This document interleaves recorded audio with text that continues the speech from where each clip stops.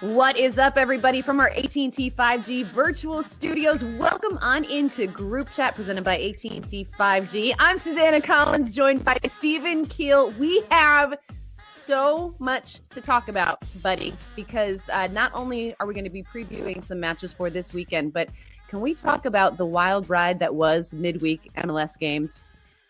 It was nuts it was what Wednesday, eight games, had like 33 goals. Uh, unbelievable. Mm-hmm. But listen, we before we dive into, I'm so happy you brought this up. Can Mhm. we talk San Jose Chofis? Yes, the answer is yes. Yes, we can. Yes, we it- can. It, has got to be one of the greatest. Like the the three quality, the goals and how the quality of the, each goal individually is mind blowing, right?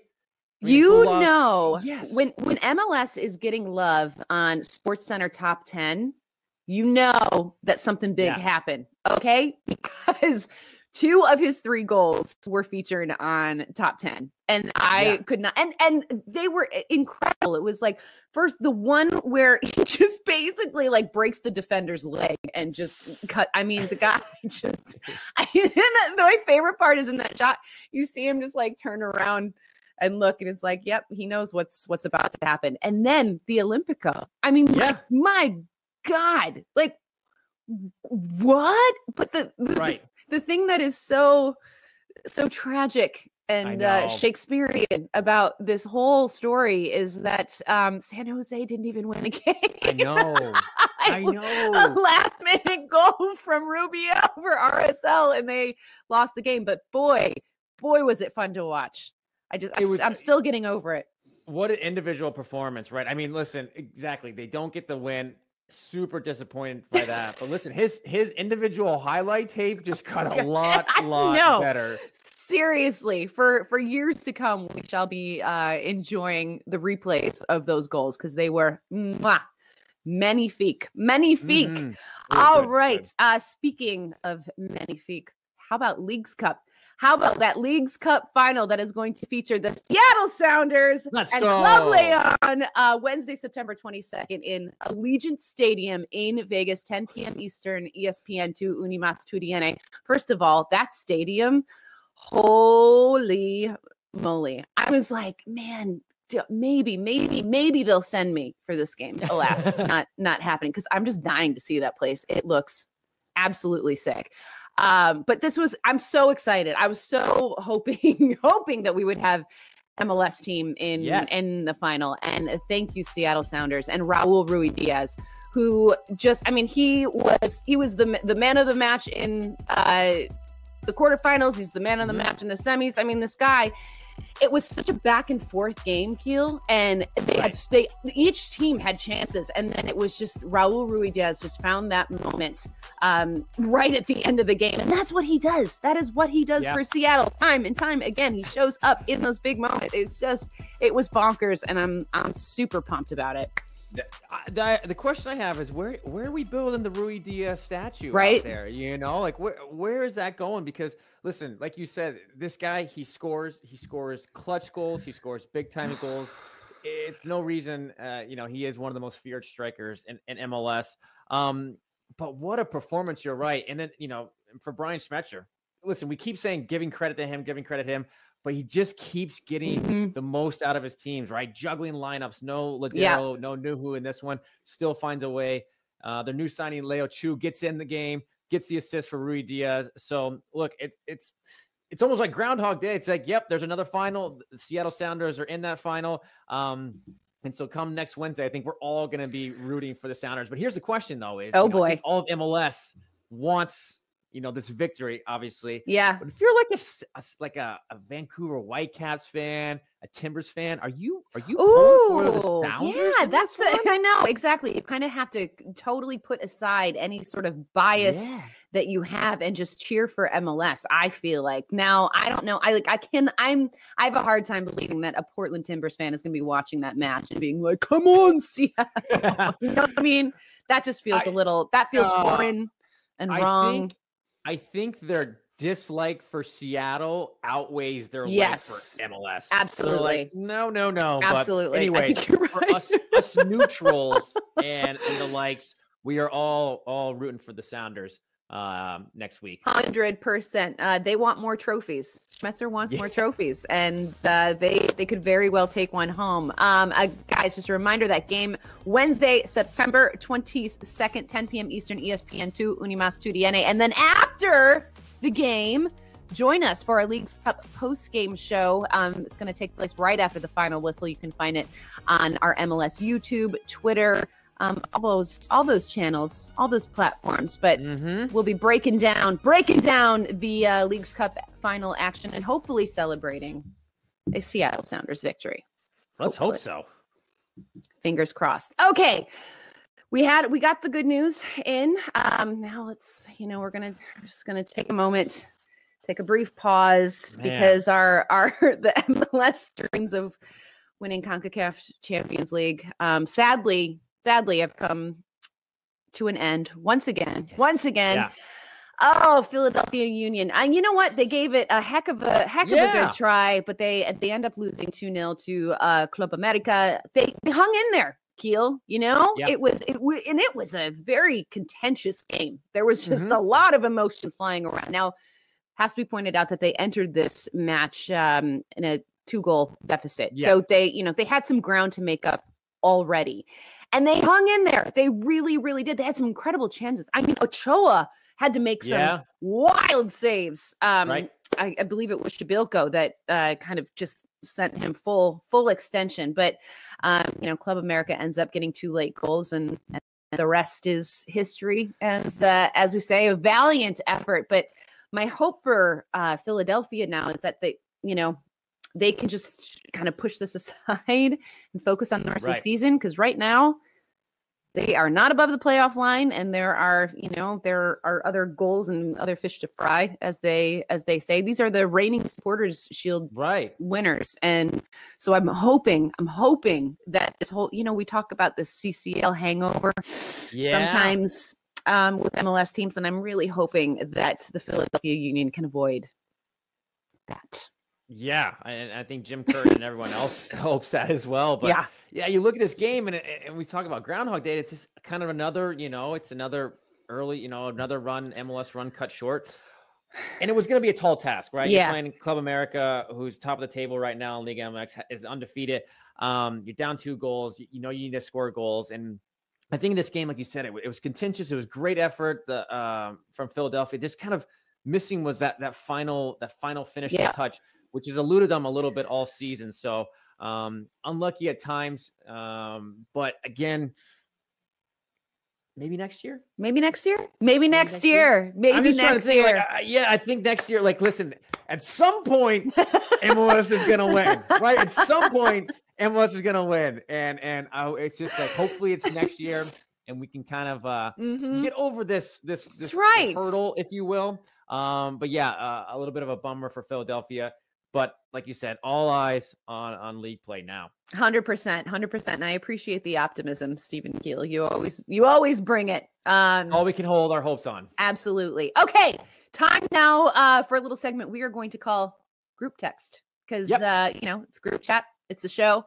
And one of the one of the the hot topics, the big storylines in MLS right now is obviously the New England Revolution. Okay, like because mm-hmm. this is just this is there is the new england revolution and kind of everyone else and yeah. is sort of my my estimation all right they're sitting comfortably in the top spot of the east since week five okay since week five all right we are now in like week 26 or whatever it is 14 points ahead of nashville who are in mm-hmm. second place and nine points ahead of sporting kansas city who are second in the supporter shield race okay so this i mean these are ginormous gaps between yes. one and two. They are on pace. They need 18 points in nine games mm-hmm. left to set the MLS points record, which we mm-hmm. saw set um, by LAFC in 2019, only two years ago, 72 mm-hmm. points. Okay, so this is completely within their reach. Yes. My question to you, Stephen Keel. Number one, does it even matter to them? Like a guy like Bruce Arena, is he is does he want to break this record? Or is he going to maybe, because they've got some room, maybe rest some guys ahead of the playoffs? Maybe, I don't want to say take their foot off the pedal, but, you know, they are in a very, very good position. What do you, mm-hmm. do you think that they are going to break this record and do they want to? I, I think, look, it's one of those is everybody's competitive. Bruce Arena is probably one of the most competitive guys. And, mm-hmm. um, you know, I think ultimately his goal is those those trophies, right? I think he, you know, he looks at the supporter shield and then obviously MLS Cup as, as the ultimate goal. And those are his main priorities. Now, look, it, along the way, if they capture the record, um, you know, most points in a season, they'll take that too. So yeah, I, I don't foresee them taking their foot off the pedal. And I, I don't foresee them, you know, kind of, you know, resting a, a, a bunch of guys that, you know, sometimes you see in the NFL where they, they sit all their starters. I don't see that happening. Yeah. Um, and as far as will they do it, I think they have an, a great, great chance to do so. Right.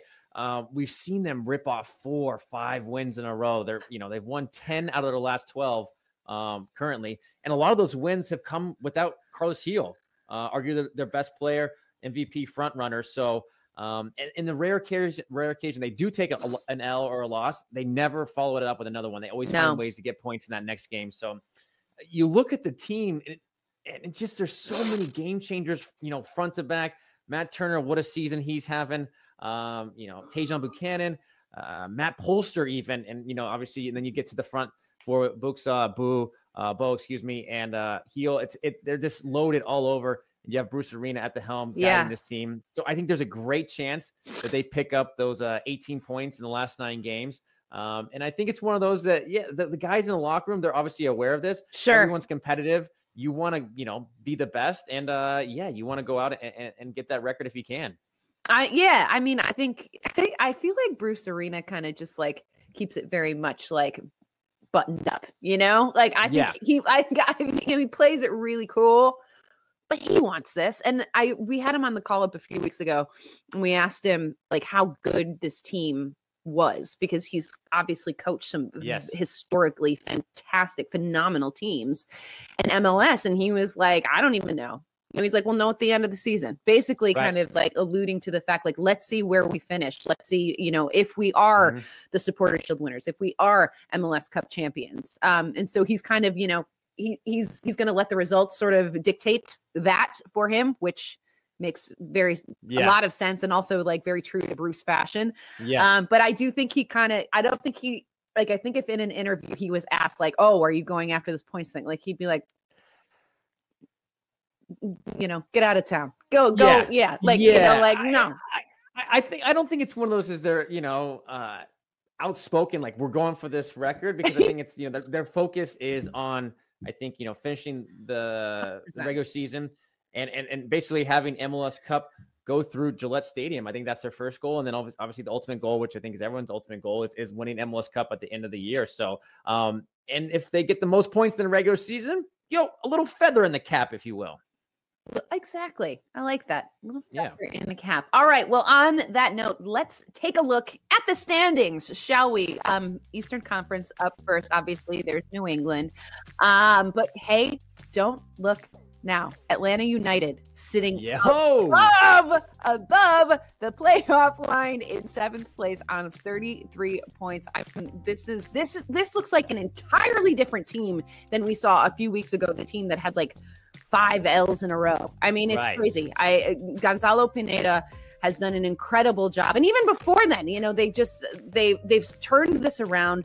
Um, Josef is back and scoring goals. Barco looks completely reinvigorated. So this is don't do not sleep on Atlanta United. I think some people maybe had written them off for this season. Oh no, no, no, no, no, no. They're playing some mighty good soccer right now. Also, um, I just want to point out Miami for a hot second, yes. for a hot second was in fifth place this week. Okay, like it, it, was it was wild. I couldn't believe it when I looked at the standings. I was like, how did this happen? But a huge amount of credit to them because they are fighting, and right now they are back in eighth, so they're just one point below that playoff line. Um, but they've been playing incredible soccer as well. Mm-hmm. They've really had a, a, significant turnaround. So it's I just this is just it's so much fun. I feel like outside of like New England, who have just been so steady, it's just this like crazy roller coaster right. in in the East, and I um I could not be more here for it. Stephen Keel. It's, also, it's I want to give some love to DC too because we had um we had Hernan Losada on the call up, and like they are I they are such a fun team, and he they have such a great attitude right now. This sort of like why not us? We're the underdogs. We love it. And they are uh, sitting in fifth place right now. So and, and it's good to give them love because look, I mean, look, the difference between hosting a playoff game and not even making the playoffs at all is three points one weekend you get a win, the other teams maybe don't get the results, and, and you, uh, you're jumping up and down the table. So this is going to be fun to, to, watch as it comes down the wire. But Buckle out up. west, it's a little bit mixed as well. So mm-hmm. you know, Sporting KC jumps to the top of the standings. This past week was good for them. 2-0 win over Chicago and a 4-0 win over Minnesota has them in first place. Um, the team, I tell you what, kind of like Atlanta jumping above there. Yeah. How about LAFC, right? Three wins in a row. That will get you uh, jumping uh, some places uh, in the play uh, in the standings. But Cristian Arango looks like the real deal. Mm-hmm. Five goals in the last four go- uh, games. Uh, Bob Bradley's got to be excited with how they're playing right now.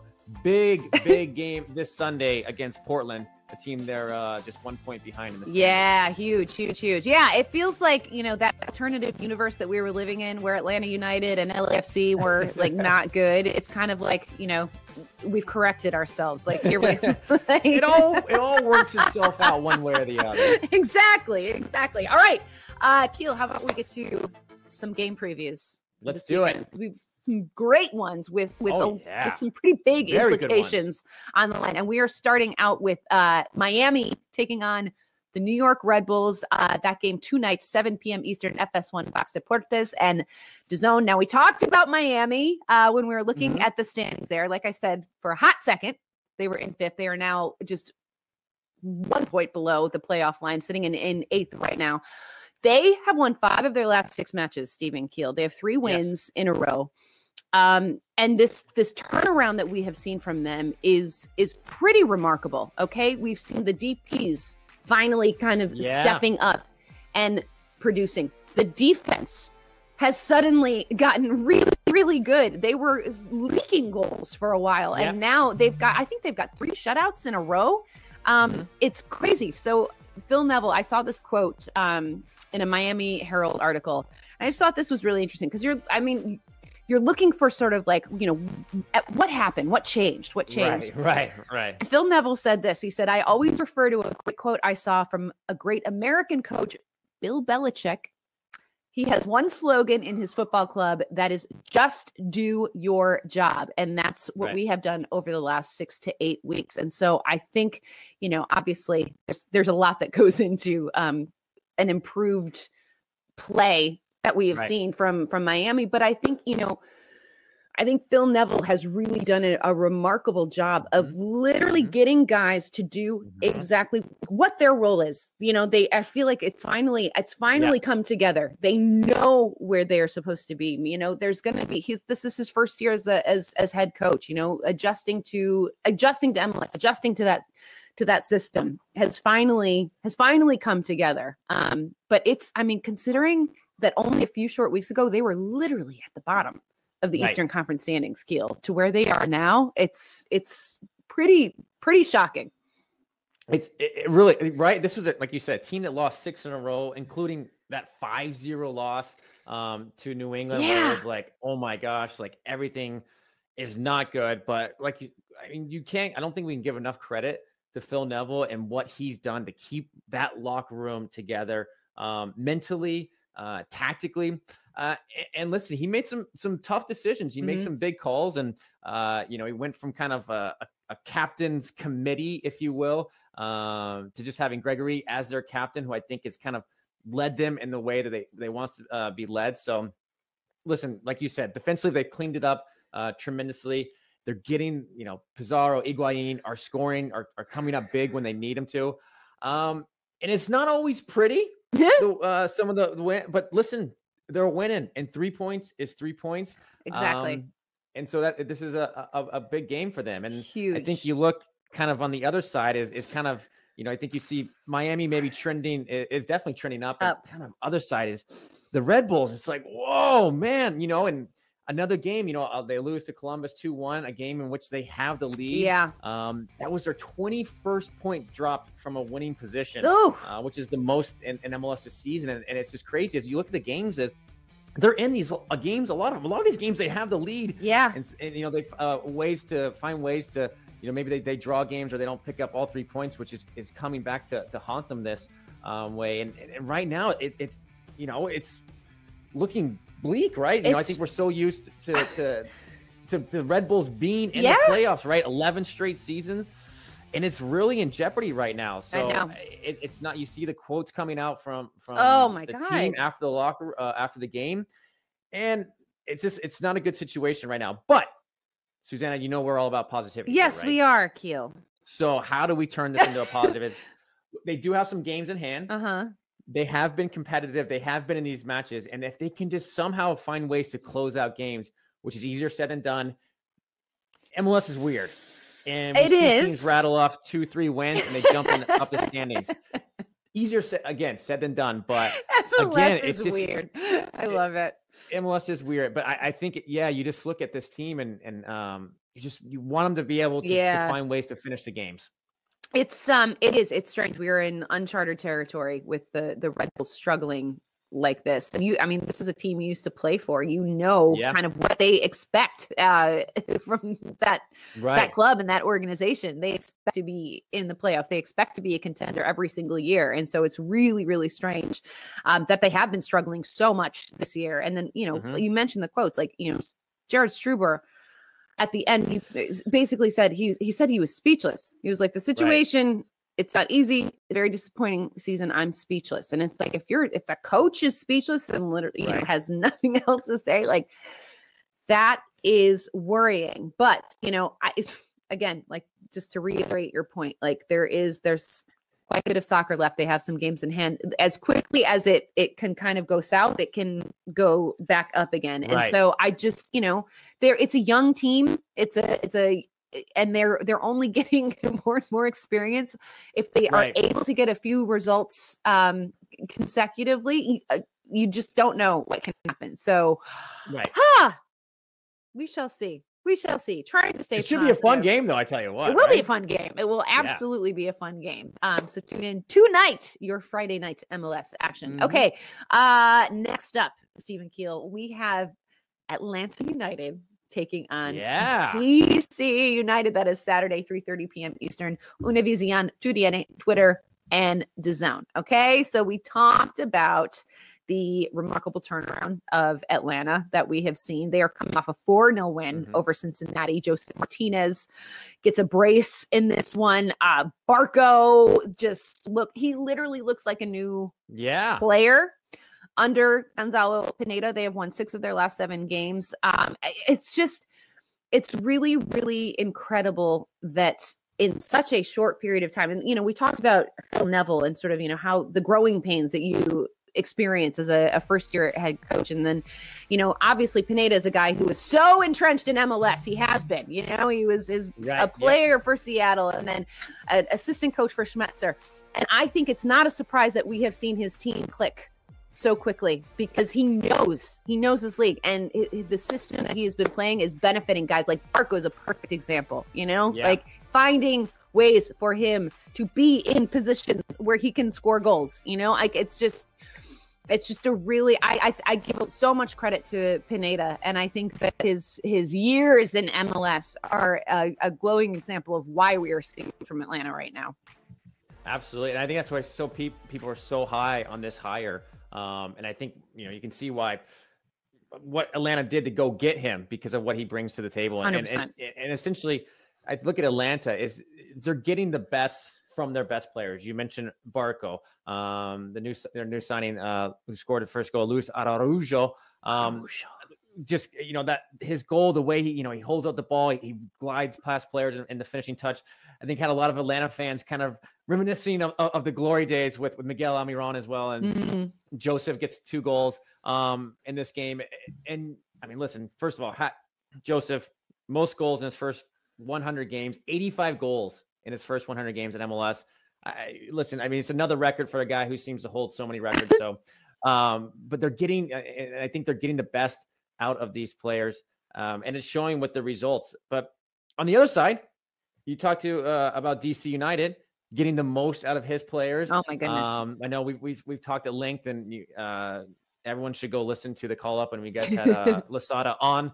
It's such an interesting guy, and Yeah. you just like listen to hear him speak. It, it's fascinating, and it's one of those guys you're like, I really like this dude. I like the way he sees the game.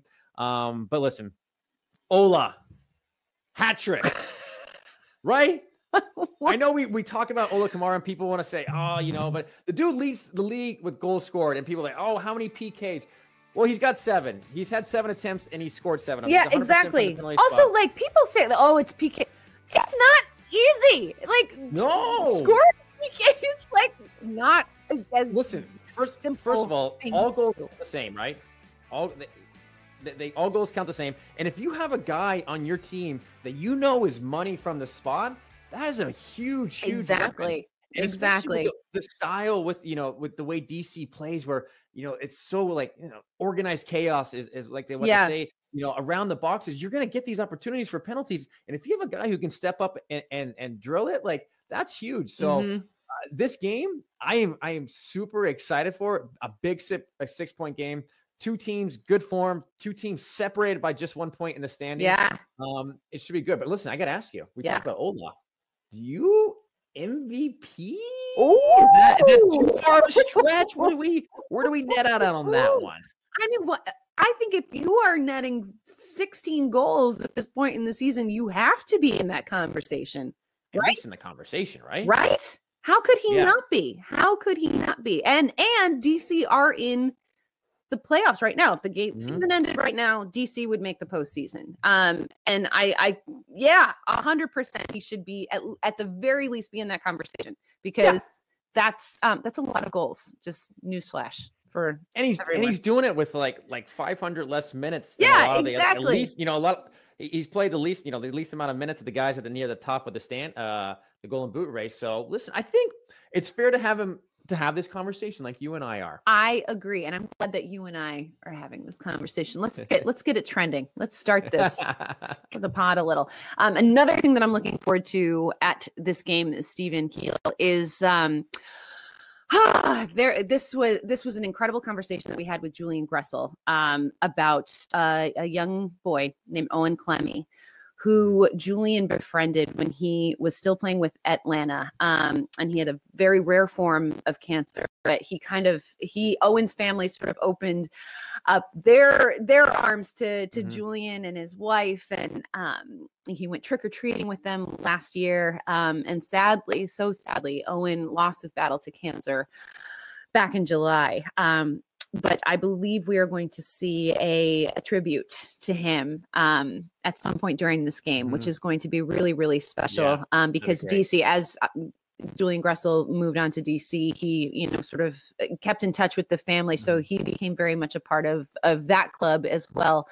Um, and so, you know, as September is Kick Childhood Cancer Month, um, I think it's just just a really, really beautiful tribute to a incredible young life that was taken way too soon. And on that note, just a reminder, guys, it is still Kick Childhood Cancer Month. So Right. keep tweeting, keep using that hashtag so Continental Tire can Yeah. donate money to an, incredibly good cause. Um, yeah, it's just one of those uh, you know, perspective, perspective Uh-huh. moments. That I was just gonna say that's that's that's it. We we talk about these games and being you know such must win and so much Yeah. important, but you know it's moments like this to kind of bring you back to um, what's really important in, in life. And you know I'm, I'm looking forward to seeing this tribute um, from from both clubs. Uh, should be a, a special moment and, and one that you know definitely just kind of makes you take a step back and, and kind of just think about things. Hundred percent. Well said, buddy. Um, okay, moving along to our next game preview.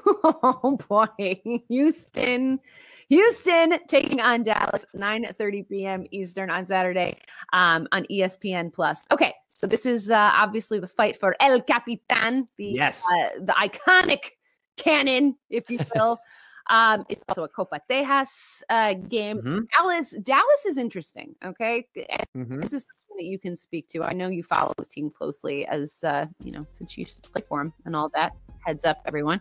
Um, but they're they're currently in tenth place. Okay, they're they're six points off the playoffs right now. They're coming off what was a, a really crazy, awesome game. Um, a Yeah. three-point draw against NYCFC, which was a really good result. Um, NYCFC is a is a good team, um, but Luchi Gonzalez, their head coach, says that Mhm. you know Dallas needs to learn how to finish games. It's like they they're right there. They're Yeah. you know they're always in games, but they don't necessarily have they they can't quite finish it out. And I I want to get your your take on this um because you know you do you look at that team and you're like God they're talented, especially you see what guys like Jesus Ferreira and Ricardo Yeah. Pepi are are capable of doing. But you know is it is it is it a youth problem are they too young is it just like growing pains what what do you think the issue is with with dallas right now And that's funny. You want we talk about you know a youth problem, and I think it's also uh, look at it like you know this team.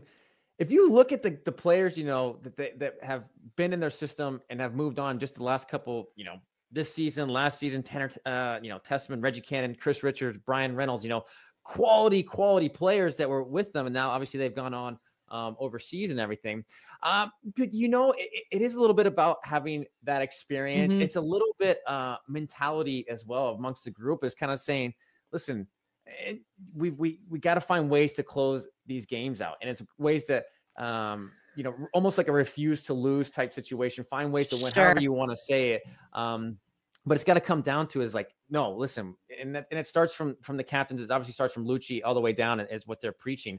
Um, but yeah, you know, you just got to have a mentality that we're gonna find a way to, to close out a game, um, digging deep, and it comes with experience. Mm-hmm. Um, but and I look at this team as well as is. I mean, how much how exciting is this team, right? It, it, what how exciting and how spoiled are we that it's like, oh, Ricardo Pepi, yep, you guys gonna you know be the next great star in. American soccer. Oh, it's another homegrown from uh, Dallas. Oh, Jesus Ferreira, yep, another great player, another homegrown. I mean, we I think we've just become almost spoiled at like, oh, they're like you know, yep, Dallas, there's another homegrown. There's yep, another player for the national team. So, but when I look at Dallas versus Houston, um, you know, I think Dallas can cause a lot of problems with those Yeah. two players up front.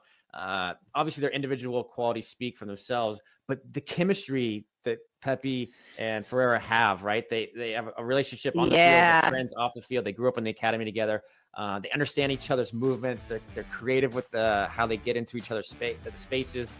Um, and then they also work for each other defensively, where they press um, and they cover each other very, very uh, effectively. So I think the combo of them will cause Houston problems. But listen to Houston. hey Uh, We we talk about teams. listen, you go for, from not winning uh, a game uh, in 16 tries to now you got four points in your last two matches. Like hey okay, hey come on you see Yeah. we see you we see we you see you right. And and listen, I mean, they've it hasn't all been bright for Houston. I one of the no bright spots has been uh Fafa Picault. Yeah. Six goals in his last seven games. He actually scored in both their previous meetings against Dallas. Uh Houston, 10 points out of a playoff spa- uh, spot. They haven't won away from home. So these games at home, you have, especially now, uh, getting this late in the season, it's a must. It's a, it's a Yeah. must win for both these teams. Um, both te- teams wanting to get above the playoff line. So, uh, big one, El Capitan. yep Who doesn't love a cannon? who doesn't love a cannon You know, Who doesn't love it's a it's a really impressive cannon too when you It see is it in impressive person. I was like, oh man, Yeah. this is legit. This is this is a cannon. Um, for those of you that have not seen El Capitan in person. Uh, but this is a perfect segue to our 22 under 22 presented by Body Armor Stockwatch Player Spotlight because we are going to talk about one Jesus Ferreira, who we have mentioned in this conversation, six goals, five assists in 1,451 minutes this season. Okay. As we said, he is a Dallas homegrown player. He was signed back in 2016. Now, Ricardo Pepi is the guy that gets all the love and the headlines, I feel like, because of all the attention that he is is garnering with the U.S. men's national team and what Mhm. he's doing there, um, in addition to his play for for FC Dallas. But you know, Jesus Ferreira is another glowing example of the success that uh, FC Dallas Academy products have had, and just a testament to that program and that academy. Stephen Keel, what do you what impresses you most about Jesus Ferreira? I, there, there's what's there's everything really. You know, everything. You look at a, a player who's versatile. He can play pretty much anywhere um, midfield and up front. Uh, he can score goals. He can set them up. He can score in a variety of ways off the dribble uh, through combinations, and then he has that ability and the vision to find that final ball. Um, for me, I, I kind of look at it, you know, what's his best position? I think we've seen him have such great success, kind of almost in that false nine, yeah. if you will, um, kind of off one of the strikers where um, he's so good at, at kind of dropping off the front line, finding uh, pockets of space. He's comfortable in 360 degree situations. Um, and then again, he has that vision and that ability to pick that final pot, the pass of, of the cutting wingers and, and, different things. So I love what he does going forward. Uh, he scores goals, he sets them up, but also defensively, right? He, yeah, he's he's not shy to, uh, to to put in the work on both sides of the ball. So I think we're just going to continue to see him get better and better. And and you mentioned that relationship with Pepi and, and the performances he's had it wouldn't shock me at all to see him, you know, Greg Berhalter call him in mm-hmm. for, for some of the, the World Cup qualifier coming up. You know, I think he's, he's in great form. Um, and, and yeah, I mean, I think he, he he's exactly what we could use and what we need. And um, his performances have shown that. Do you think Greg Berhalter watches this show? I'm sure he's a big group chat. Fan. Oh yeah, I mean, if he if he was a smart man, he would be listening to the wise and sage words of Stephen Keel. I'm i just, just want to say is how saying. do we get in the group chat with Greg Berhalter? Do you think do you think that's that should be our goal? Is can we get Greg Berhalter in a group chat? Oh God, that listen, listen, never say never, Stephen. Never say never. I believe in us. I believe in us. All right, we got one more game preview to get to, and that is uh, a Sunday matchup between Philadelphia and Orlando, 4 p.m. Eastern, ESPN, ESPN Deportes, and DAZN. Okay, so we talked about Philly a little bit earlier in the show, yeah. coming off that that disappointing CCL loss to Club America. Yeah. But but you know, it was a it was a valiant valiant effort. Um mm-hmm uh, I my hope for them, and I said it before, I'm just right now they, you know, they're out of playoff contention. They're in ninth ninth place, 32 mm-hmm. points on the season. And I am just hopeful that they will be able to kind of collect themselves, focus on the rest of the MLS regular season and get find their way above above that that playoff line because I love this team. I love Jim yeah. Curtin. I think they are better yeah than the results that they have gotten. Um, especially when you look at that that roster. Um, it, yeah. It's just it's one of these where I, I I again I just don't think the results are very indicative of the type of team that they have, and I would love to see them in the postseason. Yeah, and and I think you know you talk about that the CCL hangover, right? They put so much you know energy and preparation into that match, and it doesn't go their way there's a, how much left in the tank, you know, do they have? And you listen to, and it, it can be go one way, you know, a couple ways is either, you know, they've drained themselves and it's just not going to, you know, like we've seen, um, you know, back in 2018 with, with Toronto uh, and their CCL run ended. And then after that mat, uh, game, or you can say, look, like, like you said, that the energy was there, the, the, the fight and stuff. Can they carry that now mm-hmm. into league play? And like you said, kind of you know some of the results haven't gone their way. Can they find ways to to get those results, uh, positive results? And I think it's we talked about a lot of them. It's just you know kind of that final pass, that final yeah. Uh, the goal and everything. Um, you know, just they've scored more than one goal just once in the last nine games. So finding that final uh, finishing touch will be huge. But I, I think you speak, you listen, like everyone. I think we all love Jim Curtin, how what he's done with that club. Um, but I think you're going to see, you know, kind of them springboard almost from that uh, yeah. performance uh, against America. And then on the other side, Orlando as well, kind of in a little two losses in a row. They yeah. conceded nine nine goals They've cooled the last down. games. Yeah, I mean it's it's tough. You know, their captain Nani gets a red card. It's always going to be an uphill battle. Um, but this is a big stretch for them, right? You know, Huge. they got a, this is the first uh, of three road games after this Philadelphia game. They got New England, Nashville on the road, two of the better clubs in MLS. So these are some some big uh, big games for Orlando. So three it seems like every game is a big three points almost a six pointer. These teams are so close in the standings um yeah. it, it's like but, but i love it and, and this yeah. should be a, a, fun match. Well i mean it's it's true though and i i literally in my notes uh, for this game i literally have an asterisk big three points for both yeah. um as philadelphia is trying to get into the playoffs orlando trying to stay in that top four right. and so that they get the home field but they have you know they've kind of they've they've cooled off a little bit. I'm not super concerned about Orlando. I've been No. very high on them all Yeah. all season long. Um, but again, when when there is uh, so much on the line, especially at this point in this season, I just think it, it makes for some really exciting soccer games. So I think this is Absolutely. going to be Absolutely. this is going to be fun. That one's going to be fun. All right, let's take a look at the rest of the schedule for the weekend because we have some pretty awesome games in store for you all. On Friday, of course, we've got that's tonight, Miami, New York, 7 p.m. Eastern on FS1, Fox Deportes, and DAZN. And Saturday, that Atlanta DC matchup at 3:30 p.m. Eastern, Univision. TUDN, Twitter, and DAZN. We also have New England Columbus. That's going to be fun too. Uh, 7 p.m. Eastern on ESPN Plus. And then flip it over. We're looking at some games. That Houston, Dallas, that Texas Derby game, that is going to be happening. Um, 9:30 p.m. Eastern, ESPN Plus and Zone. And then Sunday, we've got some some great ones as well. Philadelphia against Orlando, 4 p.m. Eastern on uh, ESPN, ESPN Deportes, uh, or ESPN Plus DAZN. Um, and then Portland LAFC, that's going to be a fun one too. 7:30 p.m. Eastern, FS1, Fox Deportes, and DAZN. It's a lot. Listen, got a lot of good games. Kids. Heck yeah, buckle up because it, it, know, we're we're on this roller coaster. We really are. And uh, before we let you go, um, there was an announcement made yesterday. One of our favorites, guy. Honestly, he's just one of like the best human beings Mhm. ever. I know you would agree with me, Stephen Keel. Uh, Justin Morrow announcing that he is going to be retiring after this season. Um, the guy is just he's just incredible. 11 years in the league, an MLS Cup winner with Toronto. Um, he the work that he has done with the Black Players for Change as the executive director is uh, truly remarkable. He was the 2020 MLS Humanitarian of the Year. Again, just a superb Yep. human being, and um, I.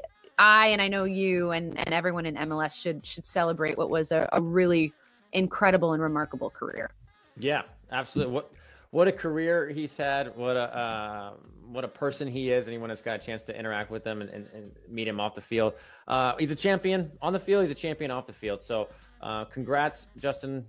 Awesome career. Um, and best of luck in uh, retirement. But I, I have a feeling he'll he's going to stay quite busy and, and um, up to some some really great things. I think so. I think you're spot on there, Stephen Keel. Um, always a pleasure, buddy. Thanks everybody for tuning in. Enjoy all the soccer this weekend, and we will see you next week. See ya.